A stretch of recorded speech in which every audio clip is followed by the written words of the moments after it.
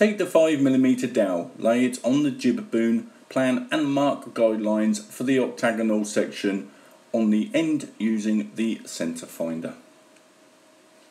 Carve and sand 8 flats to create a 4mm octagonal section at this end of the dowel.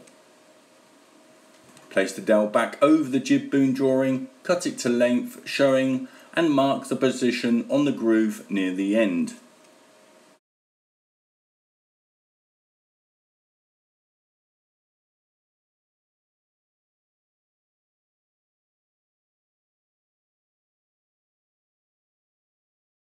Carve the groove with a sharp knife.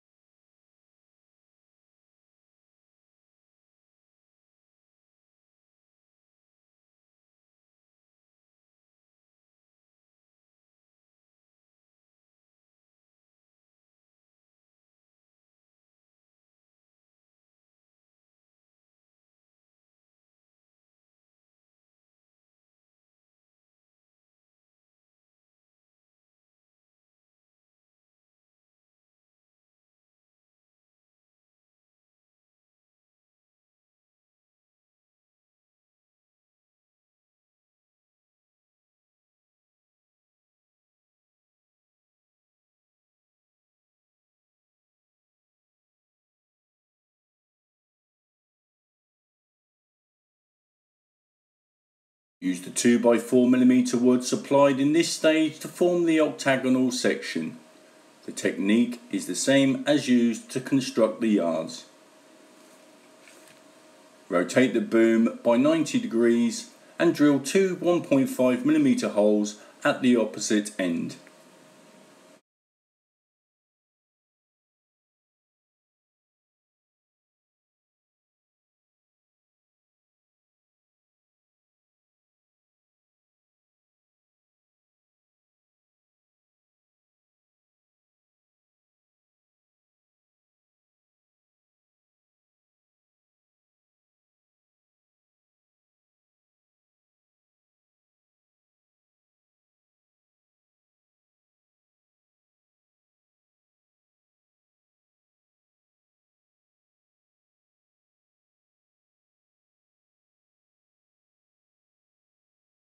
Taper the dolphin striker from 4mm to 3mm and drill the four 1mm holes in the thinner end.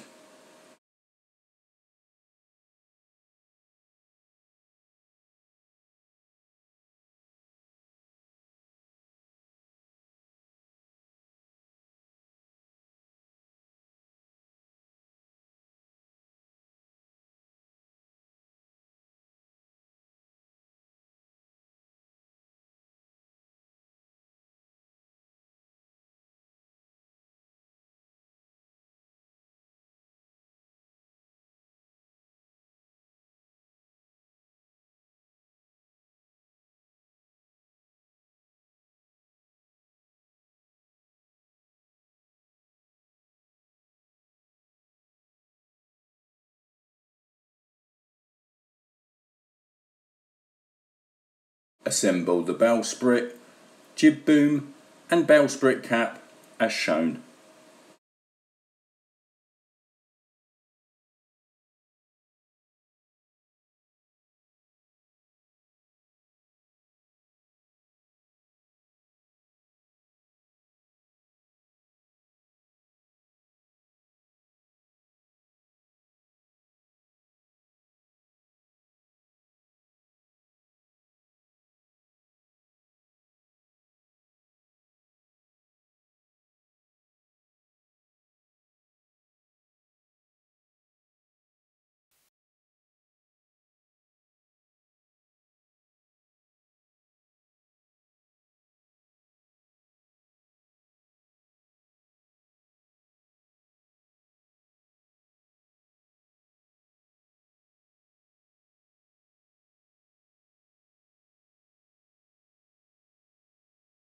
Once you are happy with the fit, glue the parts together.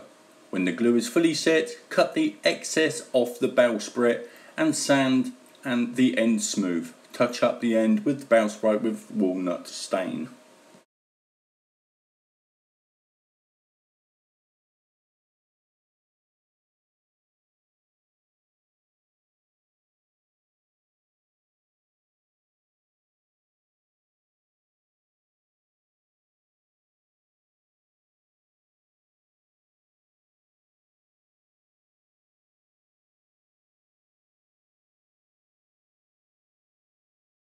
Form three U-shaped straps from the brass wire by wrapping it around the dolphin striker.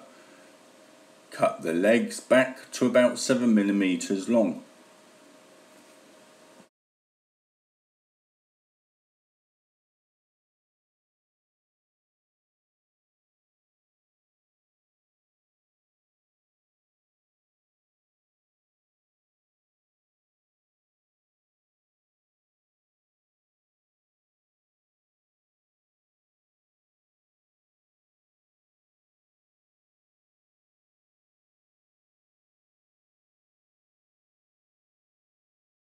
Drill 3.7mm holes in the bowsprit cap on each side of the dolphin striker, about 3mm deep. Be careful not to drill all the way through the bowsprit cap. Then glue the brass straps in position with superglue.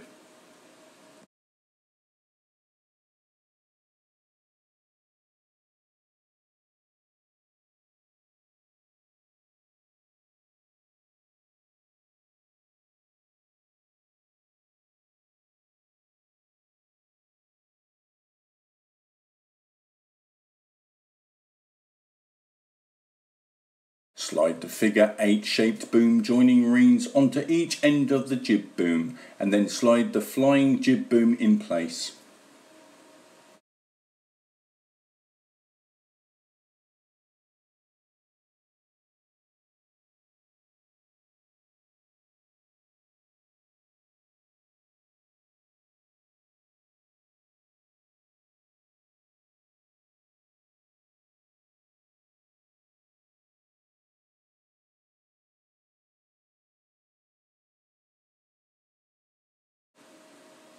Drill 0.7mm holes in the bowsprit and the bowsprit cap and glue in brass eye bolts as shown.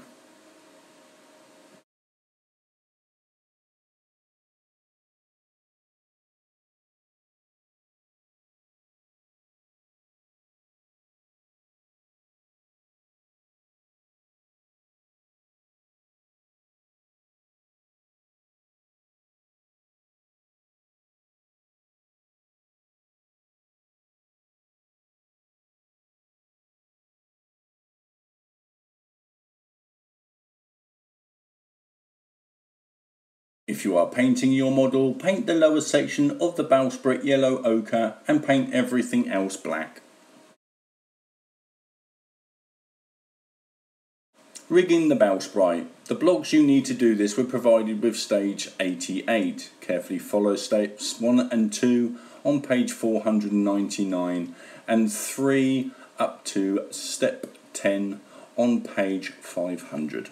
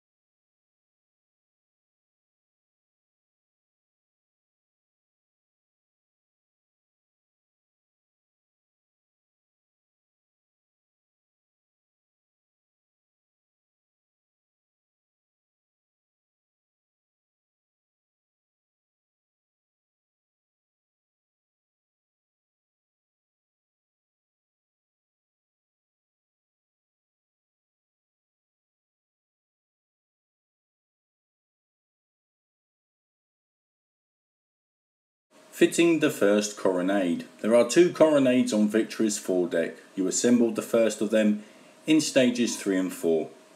Carefully follow steps 1 all the way to steps 7 for the fitting of the carronades.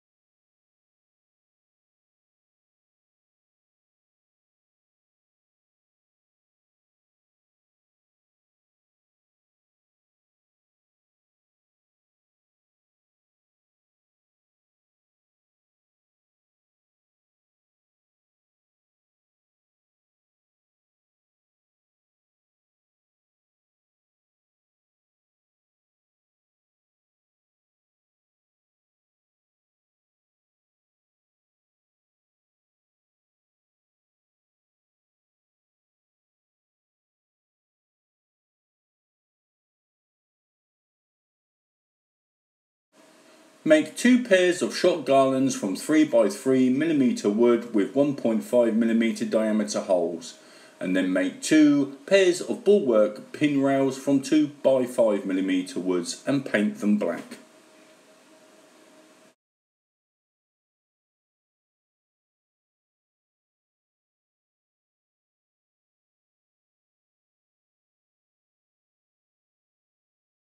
Glue the longer ones to the shot garland on the deck and glue the shorter bulwark pin rails near the end of the bulwarks.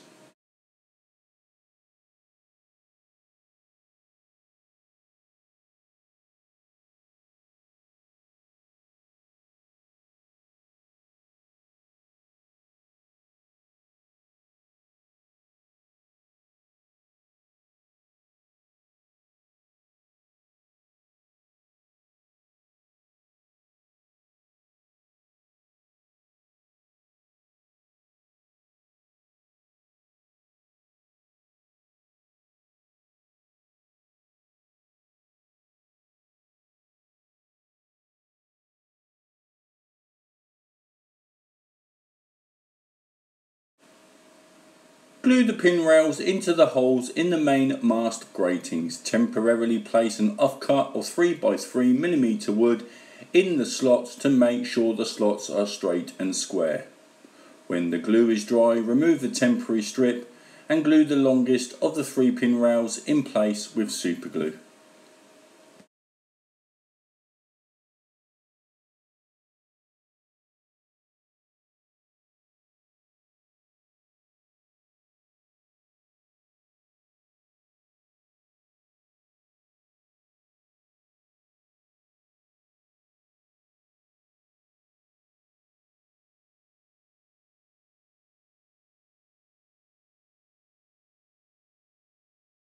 Repeat the process to fit the two pin rails by the foremast. Note that the posts are fitted against the outside of the gratings in line with the end frames.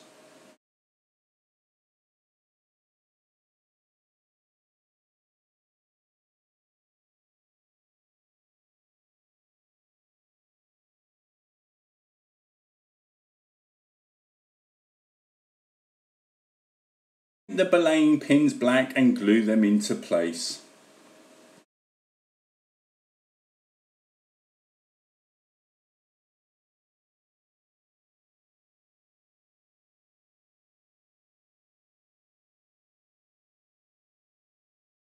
Make the stag horns cut 16mm lengths of 2x5mm wood. Scallop at the corners by cutting them off at 45 degrees with a knife, then sanding the corners concave using a piece of sandpaper.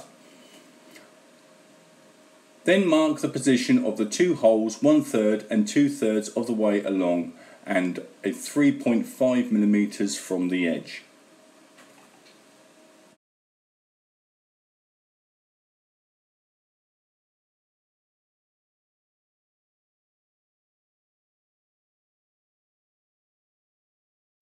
Drill 1.5mm holes at an angle of about 45 degrees.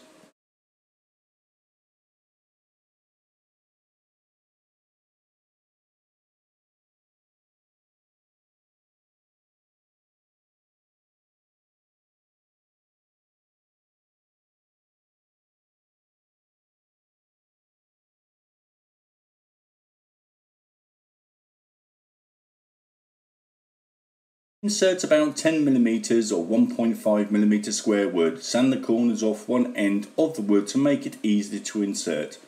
Glue it in position, cut the bottom flush and then add a second piece of wood.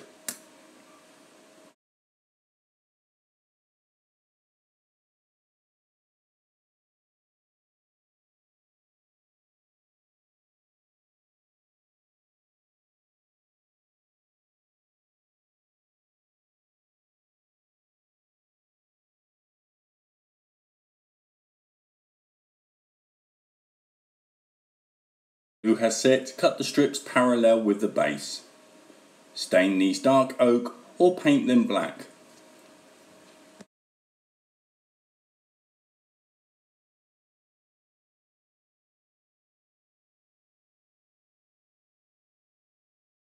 Victory's trophy of arms includes numerous small details. Painting them in colour gives an excellent finish, but takes some time to do and needs a steady hand, so you may prefer to paint the entire cast in gold.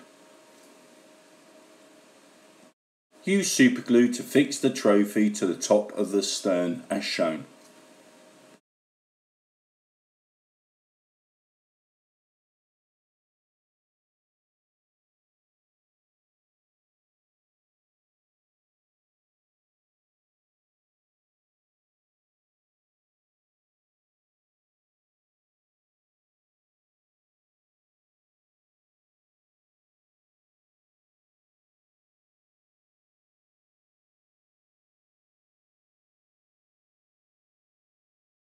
Take a piece of 1.5mm square wood supplied with stage 83 and curve it to fit under the trophy, ending just before the last window on each side.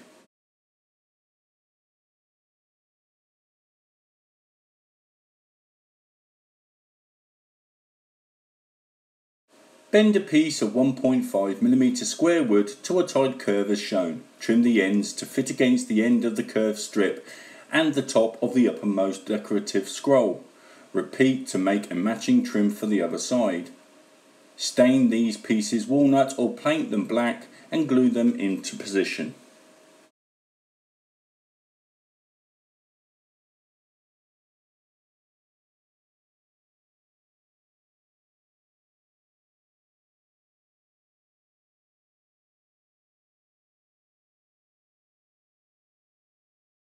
Carefully follow steps 1 to 7 on page 507 for lining the gallery.